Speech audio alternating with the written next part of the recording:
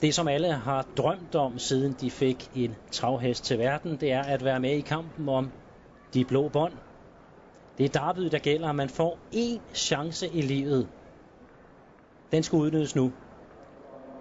Det er således, at vi skal i gang med at afvikle Scanmed Dansk Travderby. Inden start kan vi se, at der er store problemer for en af dem, som mange regner med skulle tage føringen, nummer 4 Onion FH.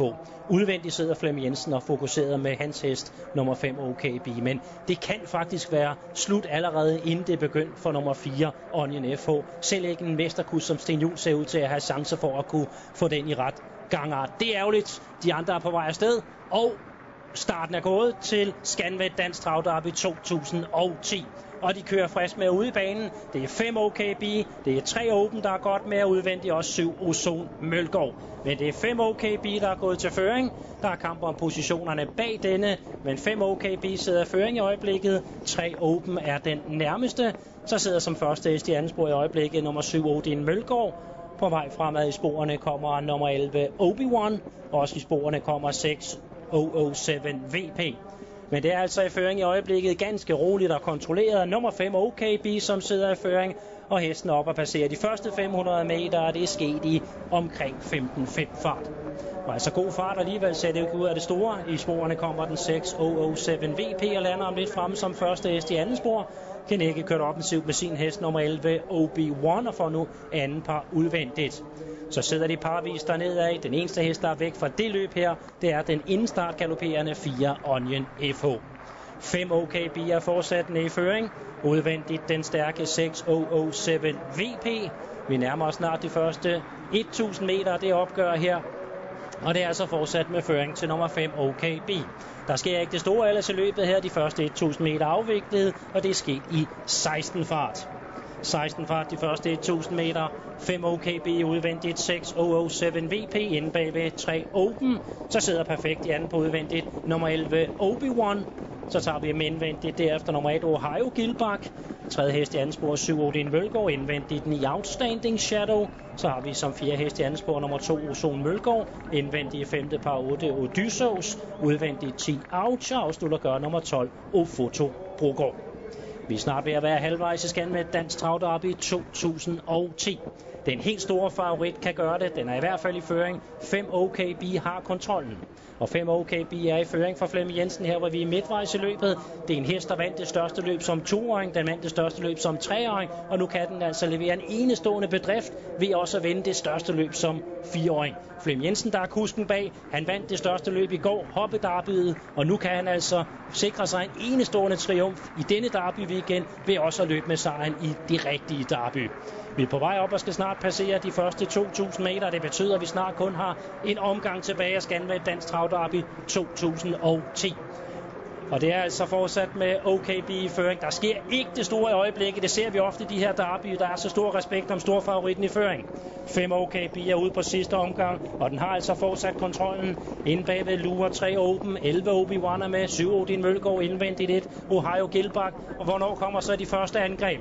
De begynder så småt at komme nu, hvor det er 11 Obi-Wan, der skal i angreb i tredje spor. 6 007 VP er ved at give sig en smule. Med ud også nummer 7 Odin Mølgaard, længere tilbage Ozon Mølgaard. Længst tilbage kommer 12 O Fotobrogård. De er på vej forbi stallene for sidste gang. Vi skal afgjort løbet. Det er fortsat med føring til nummer 5 OKB. Udvendigt 11 Obi-Wan inde bagved sidder den speedy i 3 Open, men finder den angrebspladsen. Jeppe Juhl er ved at finde angrebsplads til sin hest. I fjerde spor kommer 2 Oso Mølgaard. Længere tilbage 12 O Fotobrogård. Flem Jensen sidder og kigger sig til venstre. Han kigger sig til højre. Er han på vej mod en historisk triumf med denne fantastiske OKB. Udvendigt arbejder kan ikke med 11 Obi-Wan inde bagved uden angrebsplads nummer 3 Open. Det er 5 OKB. Længere tilbage kommer 2 Ozon Mølgaard. De kommer tættere på OKB indvendigt. Har kontrollen. Holder det hele vejen hjem. 5 OKB er på vej til at gøre det. Det er 5 OKB, der vinder Der er blevet efter en fantastisk præstation foran 3 Open og 2 Ozon Mølgaard.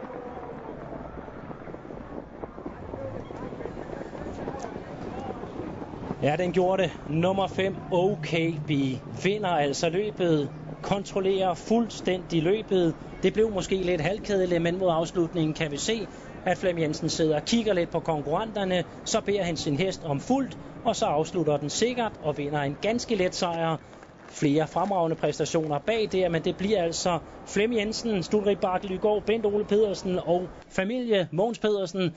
Det er bare at gratulere en fantastisk triumf for dem, en fantastisk triumf for Flem Jensen, der vandt hoppedarbedet i går, og nu vinder han altså det rigtige derby med OKB. Open får ikke brugt alle sine kræfter. Ozon Mølgaard tager løbets tredjeplads og indvendigt med kræftersparet bemærkede man en rigtig frisk nummer 9 Outstanding Shadow, også Ohio Gilbach har kræfter sparet.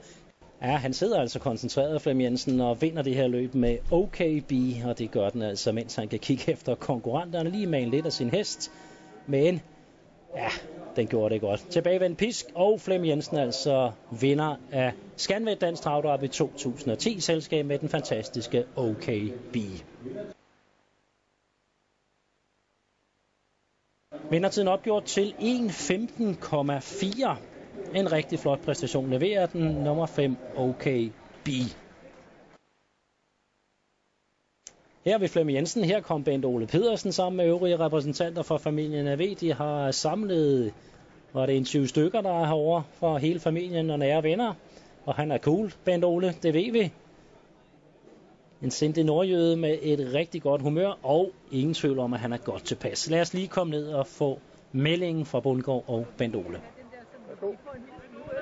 Her står jeg med en mand, der med garanti er den mest glade på Charlottenlund Travbane i dag.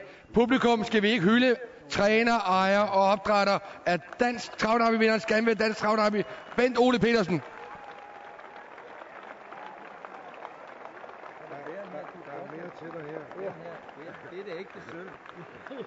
Dansk opdrætningsløb sidst forrige år, Dansk Travkvarter sidste år og Dansk Travdarby i dag. Den fjerde trippelkravn vinder i Dansk Travsports historie og Bent Ole Petersen. Din første kommentar, Bent Ole. Jamen, det er lige før, jeg bliver rørt. Også kun lige ved. Ja, det er tæt på. det er jo det her, du har, du har jagtet i, i så mange år, og nu er det lykkes. Og det er den fjerde trippelkravn vinder i Danmark. Alle tre klassiske løb, Bent Ole. Ja, det i sig selv, øh, det kom jo sådan set bag på mig. Men øh, det at vinde travdarby, det er jo en drøm, jeg har haft i, i 50 år. Og nu er det så lykkedes for dig? Ja, jeg døjer med at forstå det. Jeg har ikke helt, jeg har ikke helt forstået det endnu. Hvor, hvorhen på banen stod du og overvejede David? Jeg stod sammen med Mogens på, på staldsiden. Og da heste går forbi dig for sidste gang, og der er 500 meter tilbage, hvad tænker du så? Ja, der har jeg talt forkert. Jeg var bange for, at der var en omgang mere. Så, så, så sagde Mogensen, at det, det er opløb næste gang, så så er jeg mere rolig. Og din kusk, han sidder så stille og, og rolig og virker slet ikke uh, hæmmet af nerver, selvom det er, om det er David. Nej, han er, han er kold. Hvor stort er det her for dig, Bent Ole? Jamen, øh, det er det største inden for, trav, inden for travverden for mit vedkommende. Og det er, normalt har du i, i, i gamle dage altid solgt din heste, når der er kommet øh, gode bud. Du har sagt, alt er til salg, men den her, den valgte du at beholde. Ja, altså førhen, det var jo fordi, det var, det var for mig plads i tegnbogen. Vi venter på at få Flemming Jensen herhen for at få en kommentar, men endnu en gang Bent Ole Petersen trænet OKB vinder af Scan med Dansk Travdarby. Og her kommer Flemming Jensen, den første, der har vundet både Dansk Hoppedarby og Dansk Travdarby i samme weekend.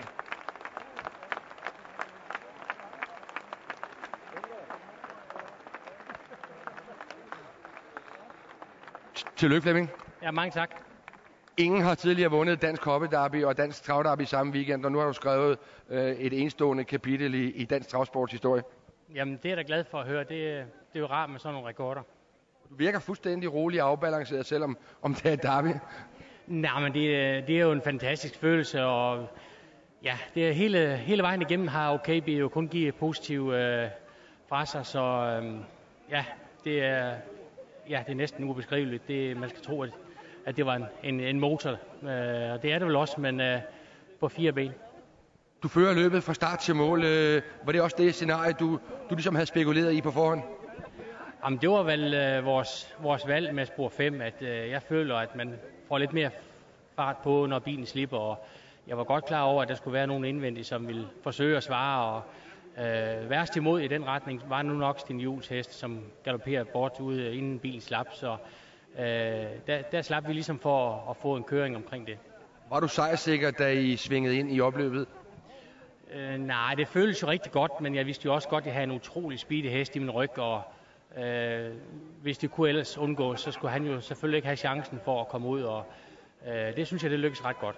Manden, der har opdrettet hesten, ejer hesten og træner hesten, han kunne være far til dig. Øh, han er over 70. Hvilke ord vil, vil, vil du sætte på personen Bent Ole Petersen? Jamen, han er unik. Øh, det er selvfølgelig en mand, der har øh, været med i mange år, men jeg synes, det er, det er utroligt bemærkelsesværdigt, og det er en mand, som ikke har leget med andre folks penge. Øh, det er, ham, det er hans, hans egen penge og hans egen investeringer hele vejen igennem, så øh, det er fantastisk. Stort tillykke med sejren. Tak.